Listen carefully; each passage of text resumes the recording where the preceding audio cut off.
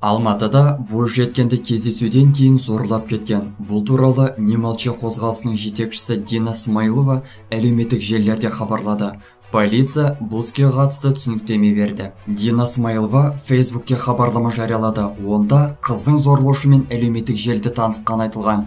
Алматы жас қыз инстаграмда бір жігітпен танысады. Олар екі апта хат жазысып сөйлеседі. Кейін жігіт қызды кездесуге шақырады. Олар оның көлігімен қалада жүреді.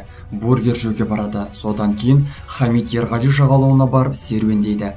Басында бәрі жақсы болғандай көрінеді. Бірақ қыз өзін үйге апарып тастауды сұрағанда жігіт оны зорлауды жоспарлағанын ашық айтады.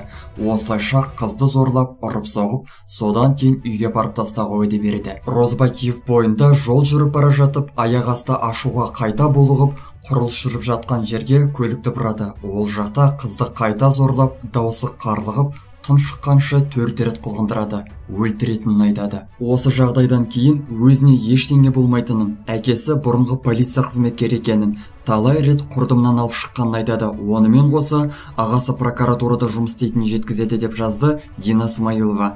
Дина смайылованың айтуынша жігіт тындыруға кеткенде қыз қашып үлгерген жәбірленуші арыз түсірген. Алматы полициясы жағдайға қатысты түсініктеме берді.